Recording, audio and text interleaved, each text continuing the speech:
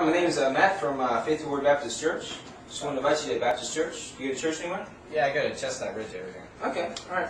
Well, uh, more important than going to church, though, do you know for sure if you're going to heaven, or do you Oh, know yeah. about it? Or? Yeah, I got about four years ago. I prayed to receive Christ.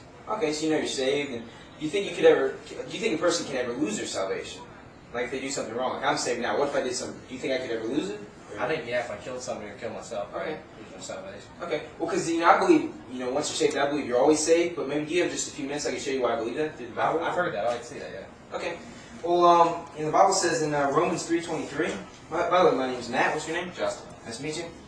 In uh, Romans 3.23, you know, the Bible says, um, for all have sinned and come short of the glory of God. So, you, I mean, you know what sin is, right? You've been in church for for a while, yeah. Yeah. Yeah, I mean, I've sinned, you none of us are perfect, right? Yeah, exactly. All right. Over here in Romans 3.10, it says, as it is written, there's none righteous, no, not one.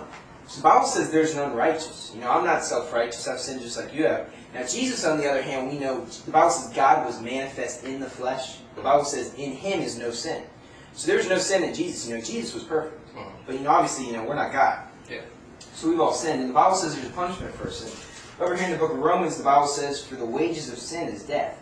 Now, do you know what that word wages means in this context? Or Uh, not really. well, you know, like um, there's minimum wage on a job, or you work a job to get your wages. So basically, wages are something we earn. So the wages of sin is death. So we've sinned, so one day we're going to die, right? Yeah. Either heaven or hell. You know, those are the only two options. Everybody's gonna die. Right. Now, it says here, it talks about hell here in the book of Revelation. It says in Revelation uh, 2014, the Bible says, um, and death and hell were cast into the lake of fire. This is the second death. So the Bible says, you know, the lake of fire is the second death. Mhm.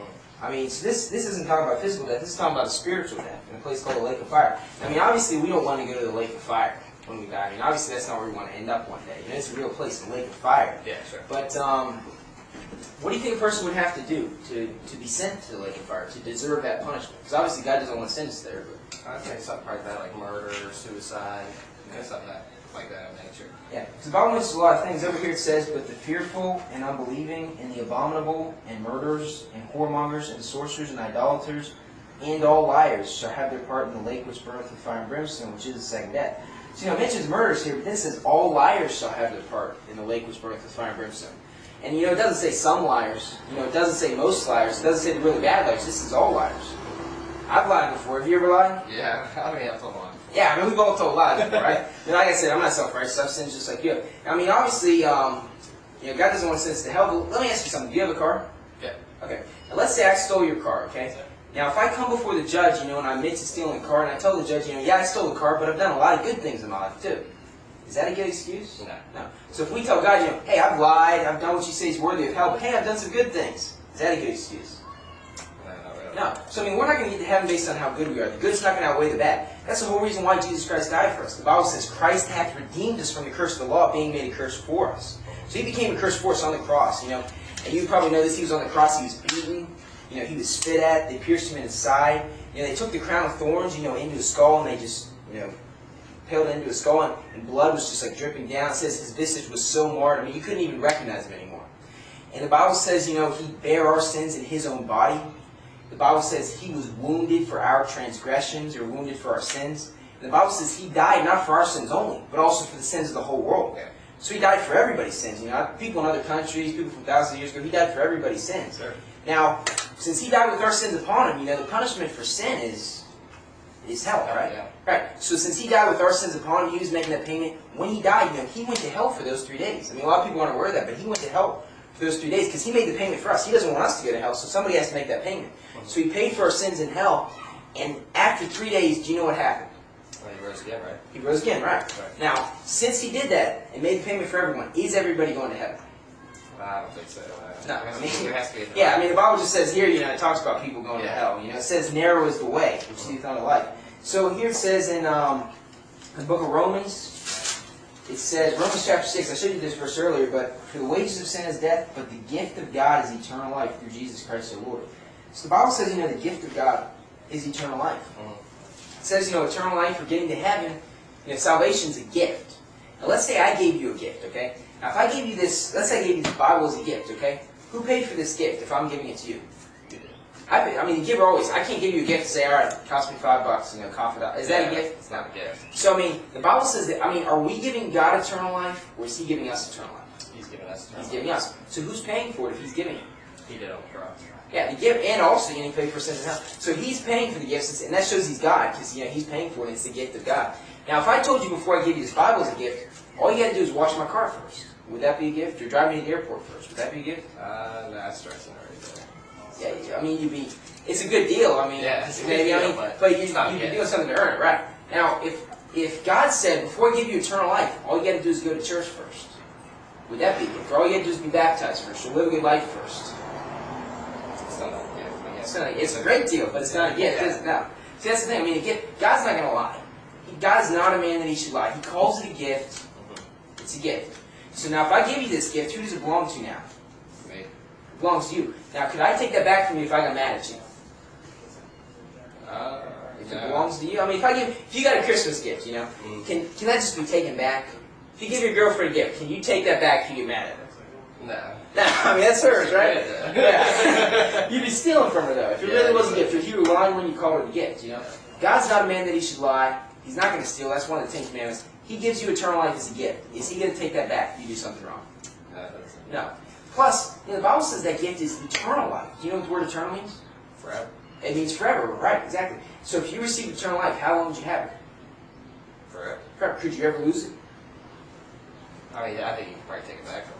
Well, I mean, here's the thing. Um, Like, if you gave, could you give it back to him? okay, well, here's the thing. Let, let's think of it this way. You know, we're going to die physically one day. Mhm. But once we die, you know, it's either heaven or hell. Now, if we go to hell, the Bible calls that the second death. You know, we're spiritually dead and physically. But if we go to heaven, our soul is who we are, right? So if we go to heaven, are we dead? We're not dead. No. See, if you receive eternal life here on earth and you go to heaven, hey, you're still alive. You were saying earlier about you know, the thing about once saved, always saved, eternal life. It's, it's a topic that's, you know, people have different opinions on. Let me show you this here in, um, I'll show you in the book of John, all right? Alright. John 3.16. You know that verse, John 3.16? Yes. the most famous verse in the Bible. Now here it says, For God so loved the world that he gave his only begotten Son, that whosoever believeth in him should not perish but have everlasting life. So the Bible says, Whosoever believeth. Now see right here it says he gave his only begotten Son. See a lot of people think, I gotta give my life to God to get saved. I gotta quit drinking, quit smoking, I gotta be willing to live for him or something like that. Now, who's giving the gift? Us or him?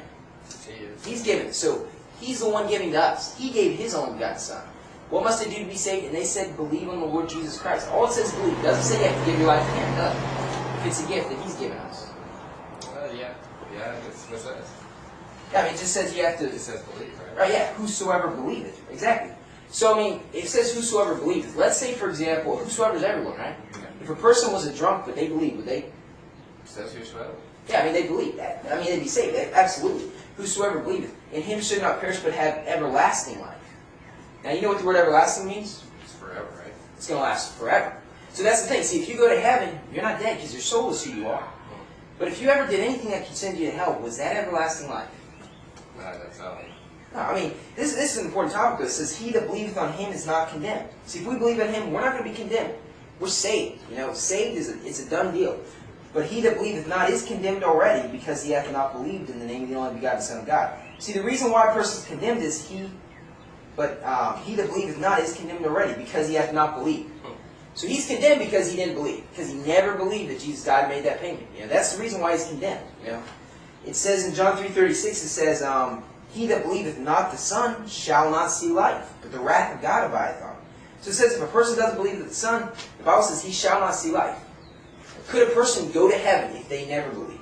If they're a decent person, but they never believe that Jesus died no, it says shall not see life. So I mean, we yeah, absolutely. If you don't believe, you cannot go to heaven. I mean, because all liars shall have their part. Jesus is the only one who came down as God in human flesh and died for us. If we don't accept His payment, who else came? Did Muhammad come down as in, in, as God? No. Did Buddha? No. No, they're still dead. No, I mean, Jesus is the one who died on the cross for us. So we have to believe on him. So if we don't believe, we can't go to heaven. But it says, He that believeth on the Son hath everlasting life. See, if we believe on the Son, if we believe on Jesus Christ, we have everlasting life. If it's everlasting, it's going to last Forever.